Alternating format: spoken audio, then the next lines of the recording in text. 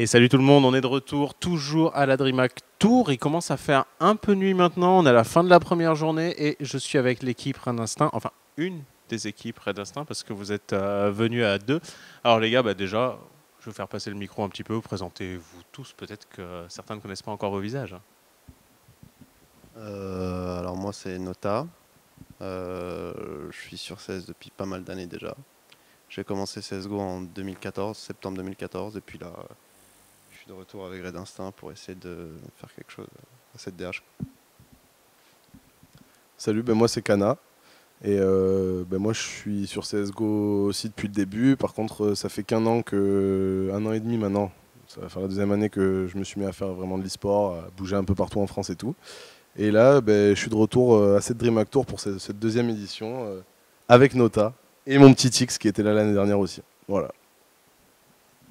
Alors moi c'est Tix, je suis la WAP de Red Instinct. Et ouais, comme Kana il a dit, euh, on a des bons souvenirs ici, donc euh, ça fait plaisir de revenir ici. Ouais. Bah, Alors c'est vrai que pour ceux qui s'en souviennent peut-être pas, l'année dernière, effectivement, vous étiez déjà à la DreamHack Tour. Vous avez fait un parcours euh, assez ouf puisque vous avez fini, euh, vous avez fini dans le minor. C'était déjà un minor à l'époque? Une vraie, une vraie DH avec des internationaux. Et vous étiez joué. Ah oui. Et vous avez fait rager beaucoup de monde euh, à, à DreamHack. Euh, C'est vrai qu'aujourd'hui cette année, l'ambiance est un petit peu plus cool avec vous. À l'époque, vous étiez un petit peu l'équipe qui sortait quasiment nulle part et qui défonçait tout le monde. Bon, cette année, vous n'allez pas jouer Fnatic. Ils sont pas là. Ils viennent de perdre contre G2. Salut les potes. Et, euh, et par contre, du coup, vous arrivez avec peut-être un petit peu plus d'attente de la part des autres équipes du subtop. Comment, au bout. On va faire le bilan un peu de ces un an. Vous étiez considérés, je vais pas dire comme des netteux, mais en tout cas, euh, il y avait pas mal de propos assez violents contre vous. Maintenant, comment vous vous placez un petit peu dans ce subtop? C'est la jalousie ça. Bah alors au tout départ, euh, quand on arrive à la DreamHack Tour, euh, on pensait vraiment pas passer en pro l'année dernière. Même si on avait des attentes, on se disait il faut qu'on le fasse et tout. Le truc qu'il y a, c'est que dans l'équipe qu'on avait l'année dernière, il y avait vraiment un, mental d'acier. Il y avait des mecs qui étaient là, c'était c'est des gagnants quoi. Euh, Rimax, euh, Arc, euh, petite dédicace à eux, même Knuck. Voilà, on avait une équipe de mecs qui était super chaud. Et au final, ben sur le momentum, comme ça arrive souvent, ben on a réussi à, défoncer toutes les équipes du top top français alors que ben, ils avaient travaillé nous pas ou moins. Et euh, pour dire comment ça s'est passé après euh, durant l'année, euh, on n'a pas fait des résultats de fou. On a réussi à se qualifier quelques fois des bons trucs sur internet et tout. Après en LAN française, c'est assez mitigé. Puis on a quand même split un mois et demi après la, DH. Donc effectivement, maintenant je rejoue avec d'autres personnes qui sont dites de netteux. Mais, mais, mais en fait, pour moi, penser que c'est des netteux alors que les mecs se, se déplacent en LAN souvent, etc., c'est une erreur. Et je pense que au final, de dire qu'un mec c'est un netteux avant de le connaître, etc., bah, c'est peut-être avoir des a priori sur lui. Mais une fois qu'on le retrouve en LAN et qu'on voit qu'il joue bien en LAN et tout, euh, je vois pas pourquoi on continuerait à croire ça. Bon, après, je vais pas parler du cas de Kali, quoi, ou d'autres joueurs comme ça. Voilà.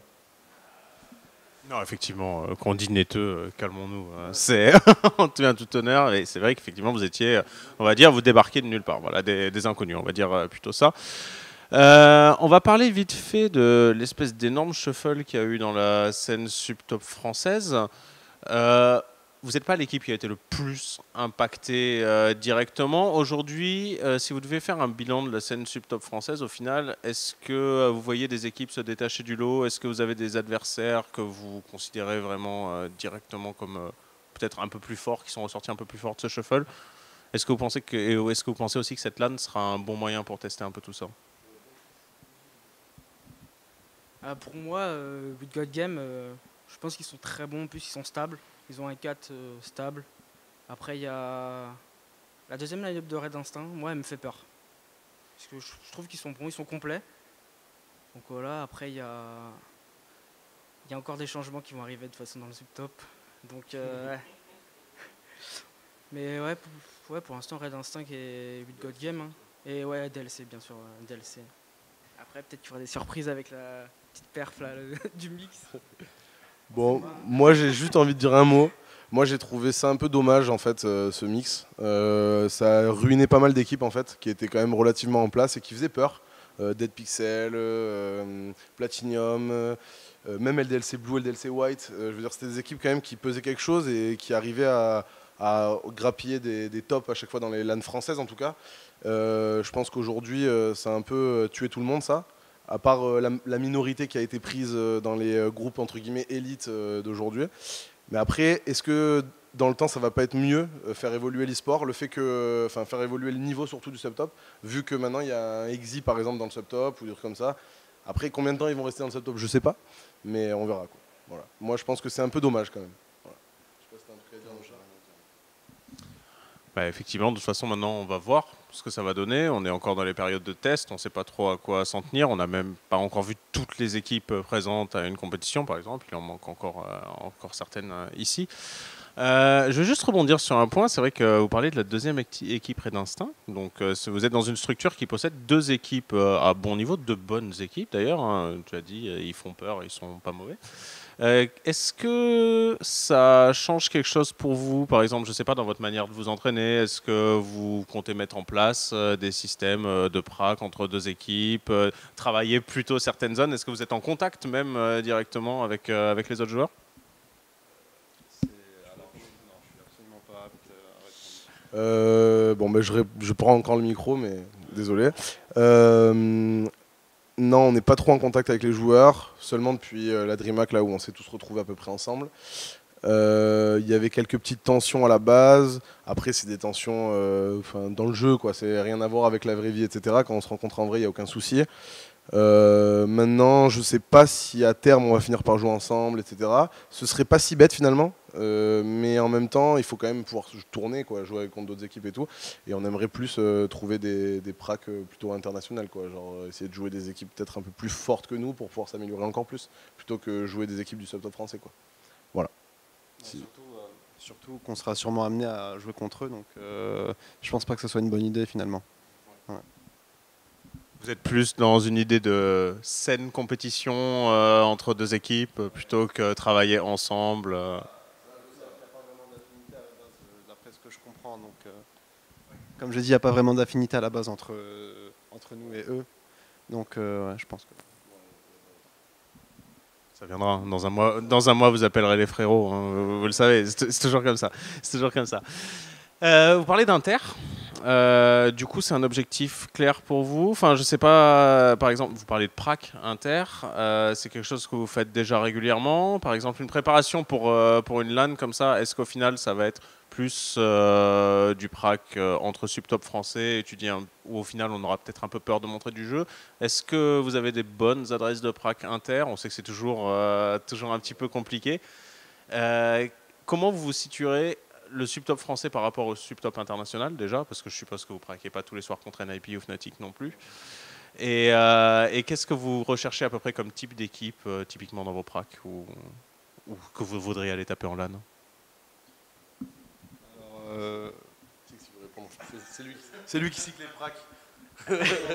Ouais, c'est moi- alors c'est moi qui cycle les pracs. Ouais. On a un bon chan, c'est que c'est toi nous qui nous l'a donné. Et ouais, il y a quelques bonnes équipes comme euh, SK, CSGO Lounge, euh, Orbit, les nouveaux Orbit, Mortal Kombat.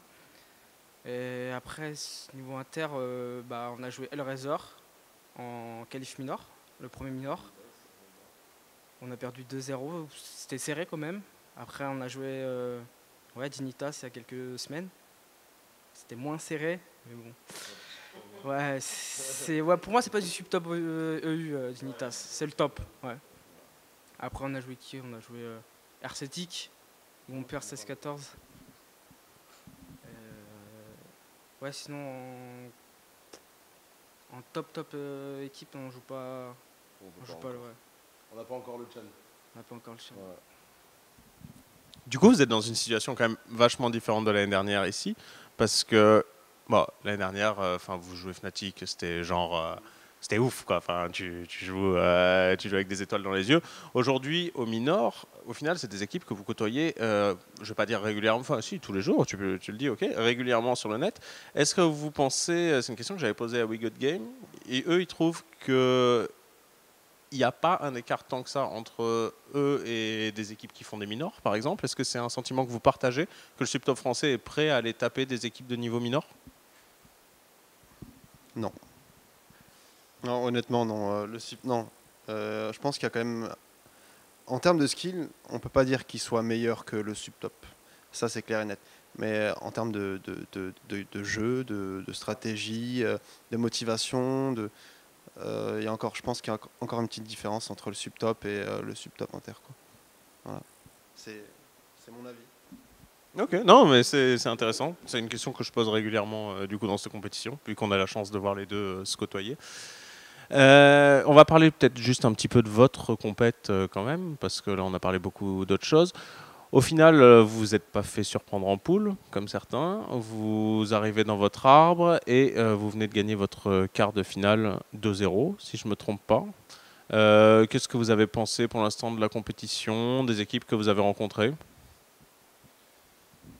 Alors en poule, on a eu une poule assez facile quand même. On peut dire que, peut pas dire qu'on a joué des équipes qui étaient vraiment en place, donc euh, bon, on s'est pas fait peur. Euh, derrière, on a joué euh, crois, en premier, en huitième. Euh, ils, ont quand même bossé, ça se voit, mais après, ben, sur le moment, on a été meilleur. Et après, je pense qu'il a quand même, on a quand même plus de temps ensemble, on a plus travaillé ensemble, et on a peut-être plus de jeux tous ensemble. C'est pour ça que c'était relativement faisable. Euh, après Bigenius, c'était Bigenius direct après. On s'est fait, euh, on, on- on- on avait quand même quelques a priori parce qu'on les a perdus il y a pas longtemps sur le, à l'underdog, euh, où on s'est, on a pris quand même une, une sale défaite quoi, où on n'a vraiment pas, pas réussi à tenir. Je suis vraiment désolé. On n'a pas réussi à tenir et euh, on a perdu lâchement. Euh, là, il fallait qu'on qu'on ait une revanche et je pense qu'on l'a prise. On avait taffé pour ça et on espère pouvoir continuer à, surprendre. Et pour la suite de la compétition, du coup, euh, pour la journée de demain, alors si je me trompe pas, bon, vous vous êtes qualifié, c'est sûr pour les demi. Vous êtes les premiers d'ailleurs, si je me trompe pas. On a We Got Game qui est en train de jouer contre E-Corp. On a les autres Red Instinct qui sont en train de jouer contre des surprenants, euh, je ne me souviens jamais leur nom, Supremacy. Ils sont euh, plutôt très surprenants dans ce LAN et ils leur posent beaucoup de problèmes. Est-ce que vous avez une équipe en tête que vous voulez absolument afficher à votre palmarès? Est-ce que vous déjà, pour vous, à part... quel est l'objectif tout simplement? Un top 3 Un top 1 Bah, on va pas se le cacher, je pense qu'on est venu ici pour gagner, donc euh, on aimerait bien faire un top 1. Après, on sait que c'est quand même assez difficile. On n'a pas énormément de préparation. Moi, je suis euh, dans l'équipe depuis ouais, même pas un mois. Euh, On joue pas si souvent que ça on joue pas mal quand même, mais par rapport aux autres. par rapport aux autres. Euh, on a encore beaucoup de lacunes. Euh, on doit encore travailler, on a beaucoup de travail. Donc, euh, moi, personnellement, je préférerais jouer We Got Game euh, par rapport à la revanche. Parce qu'ils nous ont battus aussi aux, aux Underdogs. Et en LAN, c'est c'est différent. ouais. Ah, J'étais pas là. Donc, euh, moi, personnellement, Got Games. Une victoire, en espérant. Ouais, ben, moi c'est à peu près pareil. J'aimerais bien jouer au, We Got Games. Euh, ou alors les Red Instinct Rising Stars pour, euh, pour le fun, quoi, pour le délire. Le fait de les, de les jouer, d'être les, de- les deux équipes Red Instinct en finale. Mais euh, c'est vrai que ouais, non, j'ai envie de jouer au We Got Game et j'aimerais bien les battre. ouais. Ça, ce serait cool. Pareil, ouais, WGG aussi, ouais, pour Alu. Pour Alu. Bah, Pedro, euh, le message est passé, je crois. je crois qu'il y, a du- défi, il y a du défi dans l'air. Bah, déjà, il faut qu'ils sortent de leur match. Hein. C'est pas, c'est pas encore gagné contre euh, contre E-Corp. Euh, bah, écoutez, je pense qu'on va approcher de la fin. Peut-être juste une petite question un petit peu, euh, un petit peu différente de d'habitude. Si, selon vous, c'est quoi la plus grande force de votre équipe et la plus grande faiblesse de votre équipe? Sans donner de grosses informations à vos adversaires non plus. Attention, je ne veux pas vous foirer votre LAN ou quoi que ce soit. Vous avez droit à des jokers. hein.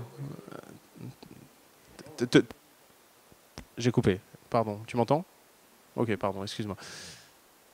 Euh, la plus grande fai- faiblesse, je pense que. Bah. Un pseudo. Non. C'est un ensemble en fait. Euh, moi, quand j'ai rejoint l'équipe, j'étais assez étonné parce que ça whinait beaucoup et ça faisait longtemps en fait que j'avais pas assisté à ce genre de choses. Donc, enfin, on essaye de corriger le truc, mais euh, c'est vrai que des fois, euh, le, na- le naturel euh, reprend le dessus et pour l'instant, moi je les ai bien briefés, on a bien parlé. Pour l'instant, on n'a aucun souci par rapport à ça. Et j'espère que ça continuera. Et par rapport à notre, notre force, bah, je dirais que je suis accompagné de 4 joueurs super skillés. Pas super, je dis pas super. hein. Skillés. Skillés. Et euh, bah, je pense que ça pourrait faire la diff. voilà. Alors moi, mon, mon point de vue, euh, au niveau du mental, notre faiblesse. euh, Ouais. Ouais, c'est vrai. Stop, j'arrête. Nota, il a tout dit. Nota, il a Et, tout dit. et comme dit Nota, euh, ben, notre force, c'est qu'on a un cinquième euh, skillé euh, et qui a super skillé. un cinquième super skillé et euh, qui, qui vraiment nous apporte euh, bah, du nouveau parce qu'il a une bonne expérience dans le jeu et euh, c'est cool d'avoir un mec comme ça qui a confiance en lui malgré son peu d'heures de jeu finalement sur Go. Et puis il apporte un autre point de vue. Et euh, surtout vu qu'il est externe en fait au groupe et qu'on était tous les quatre depuis un moment quand même, euh, il fait qu'en fait on essaie tous chacun d'être un peu plus sérieux parce qu'en fait quand on commence avec quelqu'un de nouveau ou qu'on commence en- dans un nouveau groupe, ben il y a la petite euh, la petite étincelle qui fait qu'il faut être faut être pas forcément soi-même quoi. Justement faut être faut donner le meilleur de soi. Et au final ben, au fait d'avoir changé Mawim avec Nota, ça nous a fait un peu ça. Et euh, on espère que ça va continuer, quoi, parce que on, a envie de continuer, on a envie de. comme dans le début d'une relation. Quoi, en fait. Voilà, c'est ça. On met pas vraiment en nous. Ouais. On a beaucoup discuté. Tu voudrais dire un truc, Tix? Ouais, on passe le bonjour à Moïm quand même. hein. Et on lui fait un bisou à Mawim. Eh ben justement, de toute façon, on arrive euh, à la fin de cette interview, donc bah euh, ouais, bien sûr, bien sûr. Euh, en tout cas, vous avez fait pour l'instant un bon parcours déjà. Vous êtes arrivé jusqu'en demi-finale. C'est fini pour aujourd'hui. Vous allez pouvoir rentrer tranquillement à l'hôtel. On vous retrouve demain et avant ça, eh ben, du coup, je vous laisse quand même le micro à tous une petite dernière fois. Bah, moi, je passe un bonjour à tous mes potes qui se reconnaîtront. Et bisous Nam. Mais moi, je passe pareil, le bonjour à tous mes potes. Euh, je fais un bisou à mes parents. Et non, parce que c'est vrai, je les aime quand même, mes petits parents. Comme Et, euh, et un autre truc aussi, euh, pour ceux qui savent pas encore, il y a un an maintenant, on a créé Livestream, livestream.fr. Donc je fais une petite pub comme ça à la fin de l'interview. Livestream, donc c'est du coaching, du streaming et plein de choses super géniales dans l'e-sport. Alors ben, passez voir un coup si vous connaissez pas. Moi, une petite dédicace à mes anciens mates, euh, Point of View, Sky Jorsen, Lolo et tout ça. Et on remercie euh, AOC. Ouais. Merci AOC. là. Au top. Voilà. Et merci à Red Instinct aussi, merci à Swissoir, à tout le monde, quoi, ben, à tous ceux qui nous, qui nous suivent quoi, et qui sont avec nous. Et, euh, merci à vous pour l'interview. Eh bien, euh, on va se quitter maintenant. Je pense qu'il est suffisamment tard. hein. C'est peut-être l'heure d'aller manger, l'hôtel, euh, tout ça. en tout cas, eh ben, bravo pour avoir accédé aux demi-finales. On se retrouve demain et on a hâte de voir un petit peu ce que ça va donner. On se retrouve, nous, eh bien, bientôt pour encore plus de contenu sur cette DH Tour. hein. Une autre interview euh, qui devrait pas tarder à arriver aussi. À toutes.